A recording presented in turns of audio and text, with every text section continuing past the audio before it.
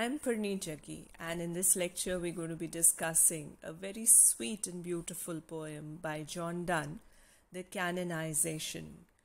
Now, as we have already witnessed, the poetry of John Donne is basically metaphysical, although it deals with the emotion, with the subject of love more often. But here, when we talk about canonization, we find a different plane, a different level of love. Although he has dealt with different moods of love in all his poems and has played with its several facets, fancies, and visions. However, in this poem, he's taken a very serious view of love and a kind of a saintly affection, a saintly touch to the emotion of love. So we see the poem The Canonization was first published in 1633 in his posthumous collection Songs and Sonnets. Now, when we look at the poem, we find that the tone of the poem is basically rhetorical. It, it begins like a rhetoric, as if he's again scolding somebody, and he is kind of challenging the vision, the the philosophy, the mentality of the world to look at him and his love, which he is convinced shall achieve the status of sainthood through love. So, when we look at the title of the poem, The Canonization, we define canonization as achieving a specific status which is higher than the other things. So, here it is about love, achieving the status of sainthood through love. So, this is what he talks about in canonization. So, let's look at the poem. He says, For God's sake, hold your tongue and let me love. Now, this is supposedly to anybody he's talking, maybe to a friend, to an associate, or to the world at large. He says, For God's sake, hold your tongue and let me love. Now, this is purely rhetorical. He's trying to scold somebody because he says himself that the, his, his own love is harmless so let me love, or chide my palsy, or my gout, my five grey hairs, or ruined fortune flout. Fortune flout, we find alliteration here. Now, these are instances, examples.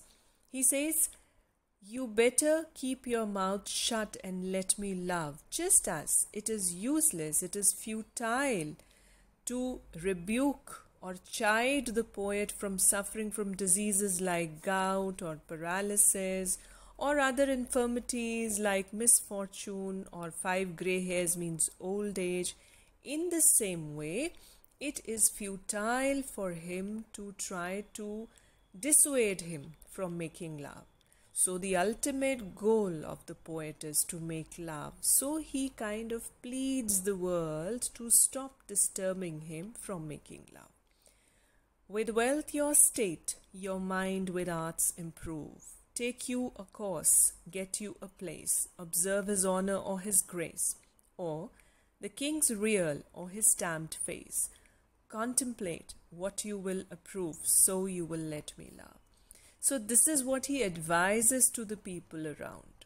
Instead of disturbing me, advising me, wasting your time on me, it would be better if you go and improve your own prospects of wealth in your mind, improve your mind, cultivate your mind, go and acquire more knowledge, develop a taste for arts and improve your mind.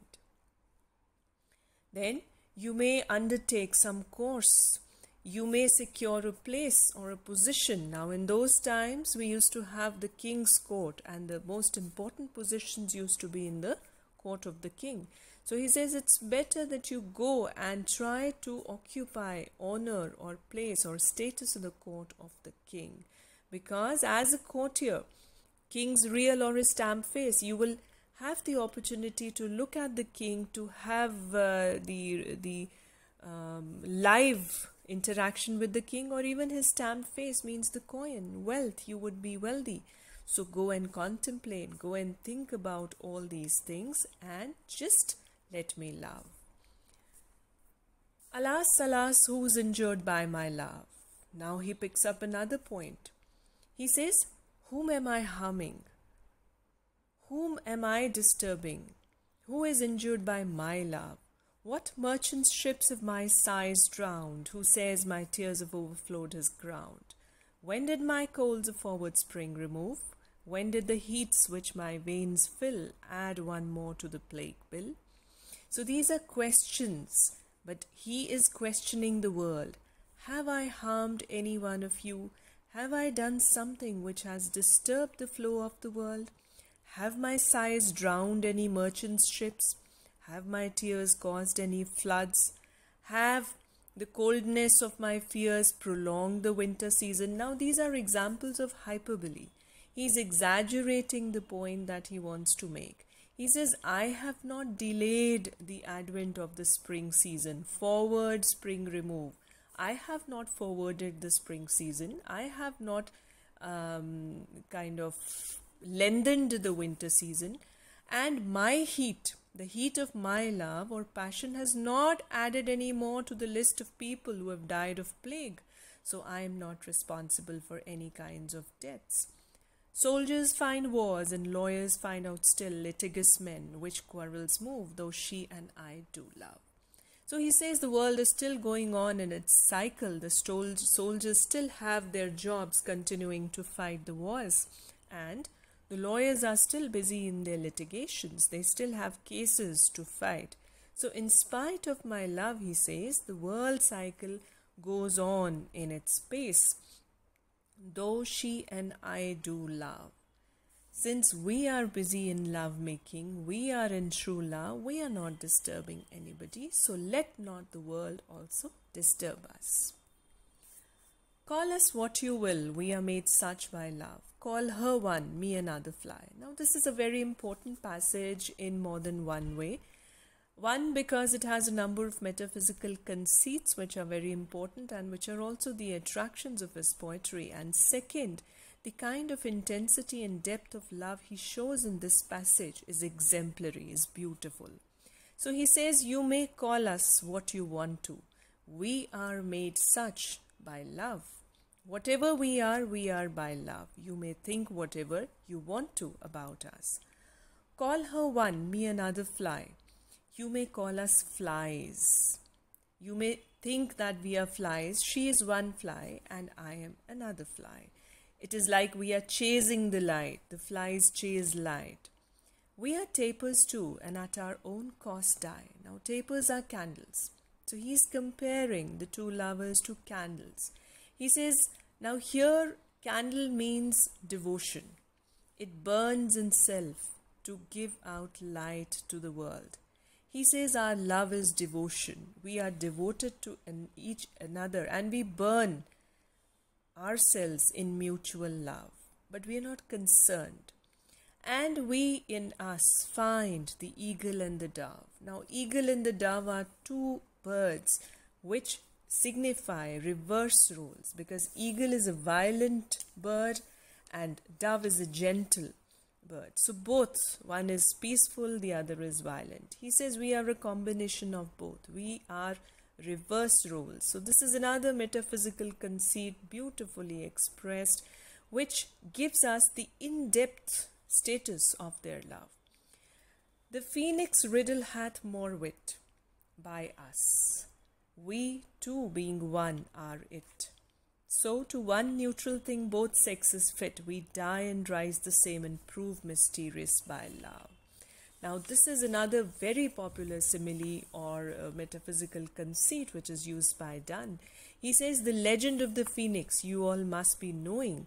The phoenix is a bird which is mythological bird, but it is well known for its being a singular creature which dies after 500 years and then is reborn. It comes to life again from the same ashes. It is unisexual.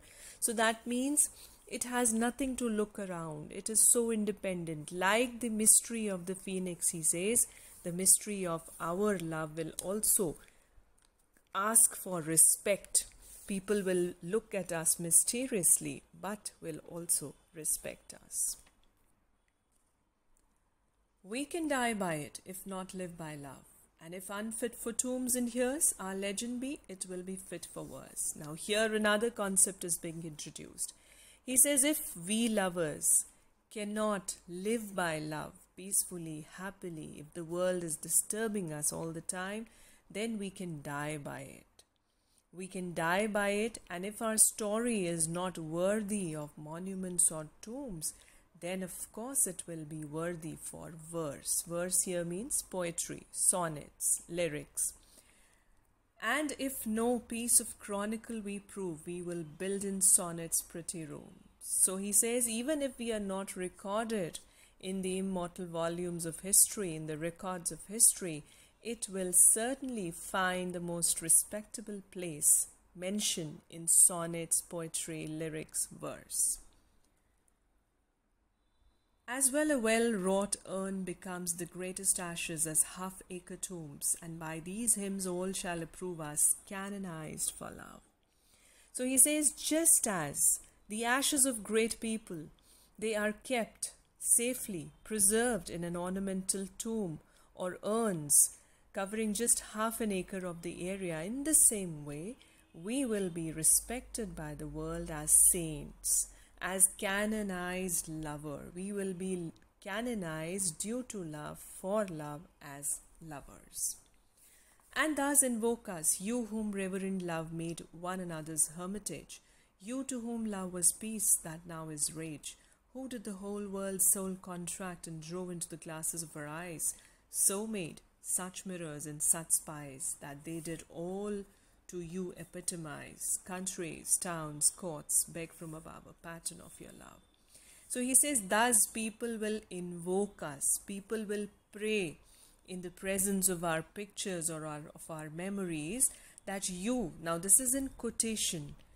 Quotation marks means that he is kind of quoting or citing the people's words that after they die as lovers, people may quote them, people may say like them, people may invoke them just as they invoke gods and saints, and they may say that you, you were the saints of love, and you made each other the hermitage, the pilgrimage.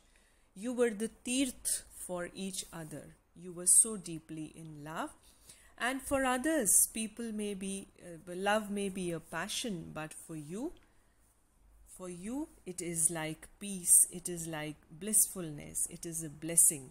Why? Because the whole world's soul contracted in you and drove into the glasses of your eyes. That means you always saw the reflection of the entire world in each other's eyes. That means the whole world was contracted just in your eyes. You saw the entire cosmos, the entire universe your love was so intense. So, countries, towns, courts beg from above a pattern of your love. So, you will be an example to set a pattern for the world that this is how love should be and this is how lovers should be. This is what John Donne has to say about canonized love, where he thinks that he would be raised to a platform of saints as lovers. Now we know the theme of the poem is love, love, and love, but love in the metaphysical form, and he's quite optimistic, quite positive, and quite serious about the repercussions of love that might he that might be seen in the present world as well as after death after he dies and the world looks upon him as gods or deities or saints. Now we see the style and structure of the poem is such it is full of metaphysical conceits. We find no dearth of metaphysical conceits. We see that he uses candles, phoenix, eagle, and dove, all these riddles and all these examples, which are rich metaphysical conceits and make us wonder as to how he compares his love to these. Now, when we talk about the structure, it is a five stanza poem which is separated into sets of nine lines each. And um, there is a uniformity of the pattern of A, B, B, A, C, C, C, A, A. And uh, when we look at the meter, Donne was not very consistent with the meter, but usually he is using iambic pentameter.